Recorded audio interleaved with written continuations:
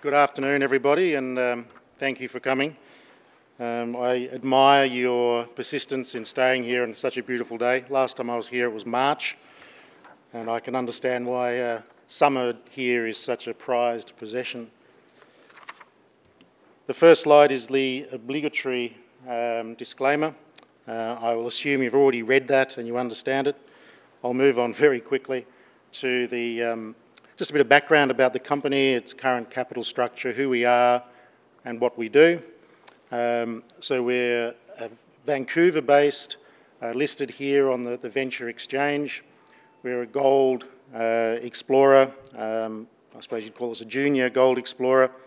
We currently have 81, 81 million odd shares um, issued. There's a lot of warrants. There's a lot of historical warrants from uh, when the company was a shell. Uh, you'll see if you can, if you can read the, the, the, fine print there on some of the expiration dates and the value of those options. There's a number of them will be coming up um, and will most likely expire over the next uh, six to 12 months.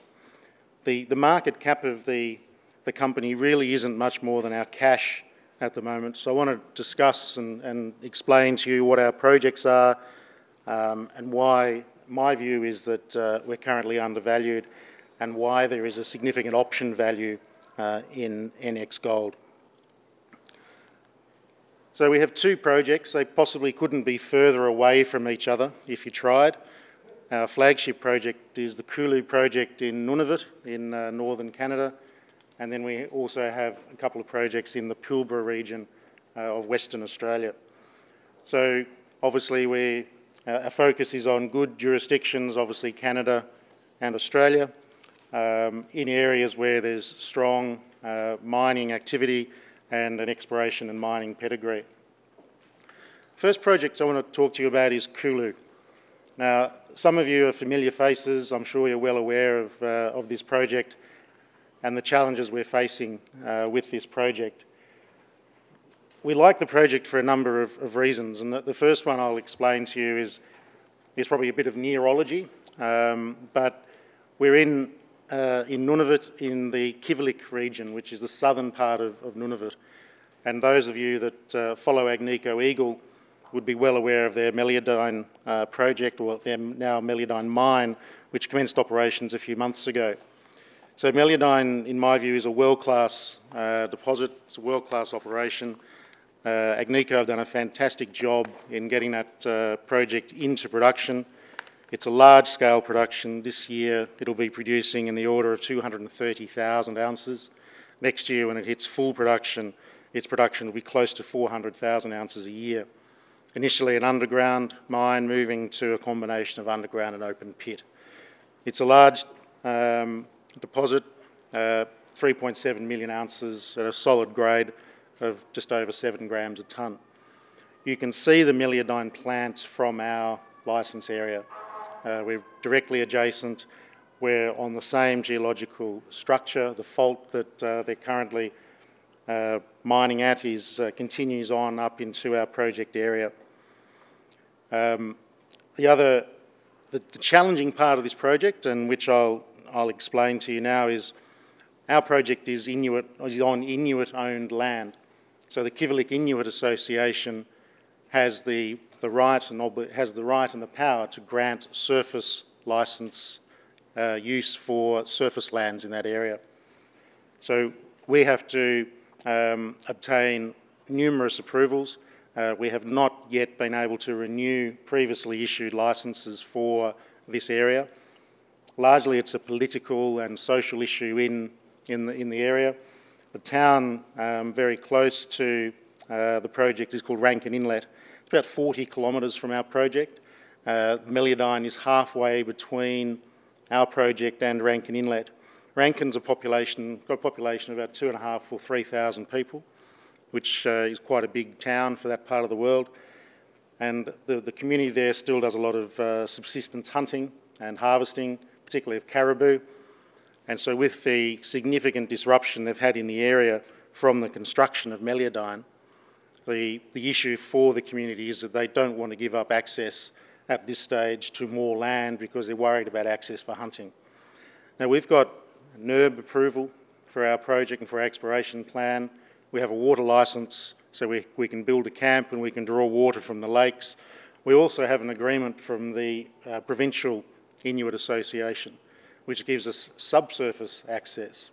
So we've got three of the four key permits and, and uh, approvals that we require, and they were basically they were obtained in record time, but we have not yet been able to crack that uh, nut of the Kivalliq Inuit Association. And part of that, I think, is um, perhaps personalities of the leadership involved. Um, we've had some, some issues and challenges, which I won't go into here, but I'm happy to discuss uh, afterwards if you like. Um, interestingly, there is an election coming up at the, by the end of the year for the leadership of the uh, Inuit Association there, which may lead to significant changes, which will then give us the opportunity to discuss this matter with new leadership and a new board, and they hopefully will be more, more open to, um, to our involvement and our activity in the area. And what's frustrating for us is, um, some of you might be aware, I'm, I'm one of the founding uh, uh, members of uh, NexGen, um, which uh, has been a very successful uranium story here in Canada with uh, the Arrow project in Saskatchewan. And one thing we did uh, this year, we won, NexGen won the award for, from the PDAC for the best community and environment uh, uh, program for any company in the industry. So we're very proud of that and we've done, the, the team at NexGen has done a fantastic job um, in the La Loche community and the local, the local community in Saskatchewan there and has gained international recognition for what they've been doing there. We're, we're offering to take that same expertise and those same techniques and skills and, and what we're offering, what we have done um, in Saskatchewan to Rankin Inlet. But that seems to fall on, well, that has fallen on deaf ears with the current leadership of the Inuit Association, which is very frustrating. But that's enough of that rant. But that's why we're not working this project. We, we have a farming agreement here to earn up to 70%. It's currently on force majeure, so we're not spending any money here at the moment because we don't have surface access. We've spent about $850,000 here before the licence expired. Um, we have drill targets ready to go. Um, we've, we've, completed geophysics. The, the, the party from which we're farming into this project held the project for six years before uh, reaching agreement with us. They did significant till sampling, mapping, etc. So we have very, very strong um, basic exploration results that we can work on. So we've got drill targets.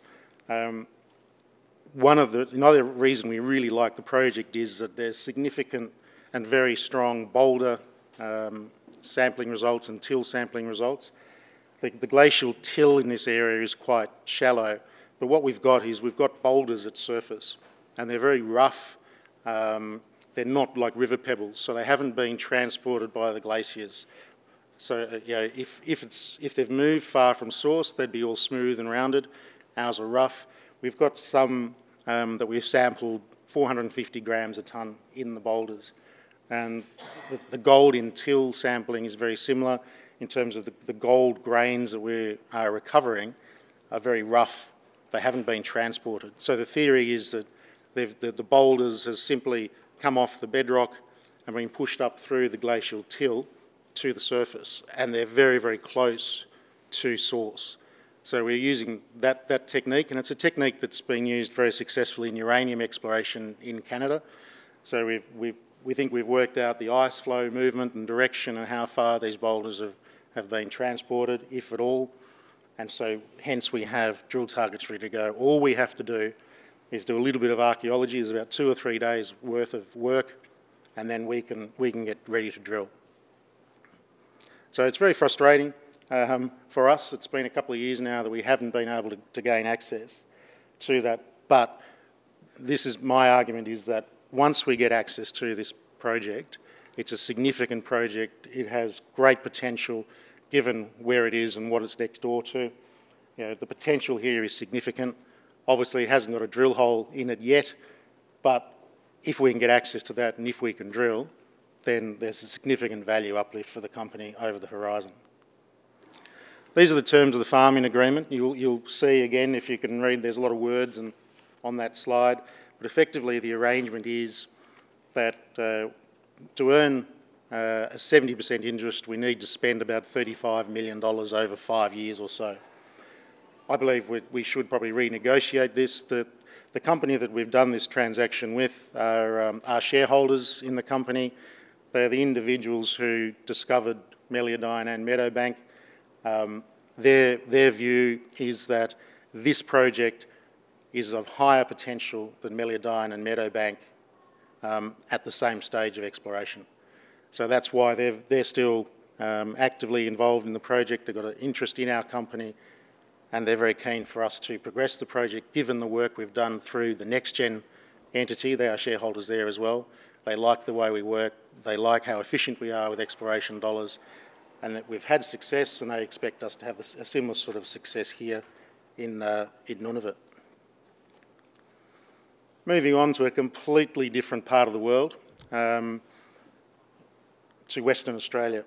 Now, again, I'm not sure how familiar you are with the Pilbara and uh, particularly the Pilbara gold story, so excuse me if I'm going over um, old ground here for you.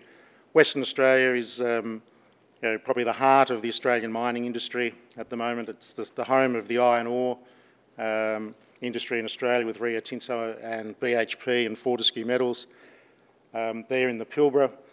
Um, it's a easily accessible region. It's well serviced by infrastructure and mining services. It's got a mining heritage. Um, there's not a lot of competing land use in this area. Um, so it's a great place to, to have a mining project, an exploration project. So the Pilbara has become you know, well known and, uh, recently for its gold um, potential. Um, it started off a couple of years ago, you would have come across the conglomerate story, the melon seed nuggets that our peers have um, discovered and located.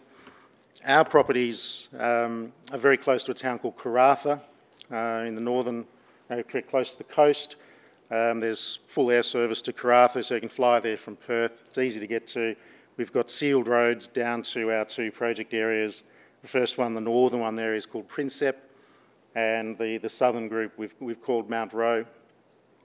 It's quite a small project area combined. There, it's just over 1,200 hectares. The licences we have here are called prospecting licences, so they can only be a small area, about 200 hectares each. So we've got uh, seven prospecting licences between the two um, projects. Holding costs very low for prospecting licences. The annual rent is about $500 each Australian, and the work commitments are very low here as well. It's combined, the, the, the work commitment required is about $20,000 Australian. So we can sit here and we can hold these projects if, if, we, if we want, but we have been um, doing a, a reasonable amount of work here over the last 12 months because we've, we've had these, uh, these nuggets. Um, and we've had a variety of, of nuggets that we've um, discovered. The one, the big picture there on the left with all those nuggets, that was a couple of days' work with an excavator um, that was recently completed, and we put an announcement out with some of that work uh, yesterday, I think it was. So they, they were um, recovered with an excavator down to a much deeper depth than we've previously um, announced and worked with. Previously, it's all been metal detector work, which only goes down 30 or 40 centimetres. With excavator, we took it down to about a metre, a metre and a half, um, and put, put the material through a dry blower. And so we recovered, there's about seven or eight ounces worth of gold in that area.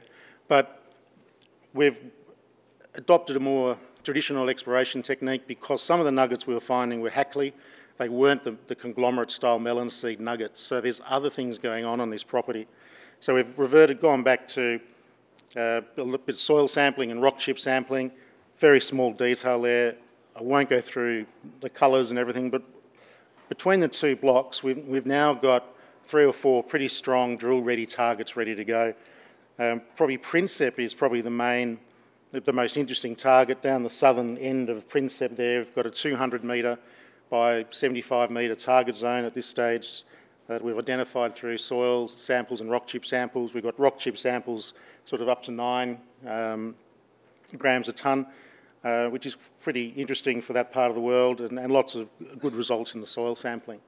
So we've got drill ready targets to go here. We've got a couple of little heritage things to sort out here.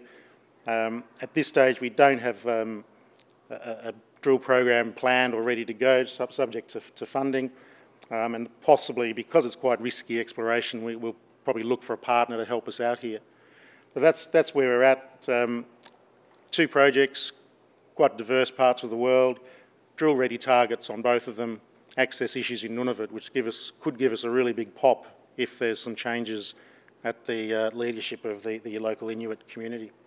So thank you for your time. Um, I'll be around later for questions and uh, thank you.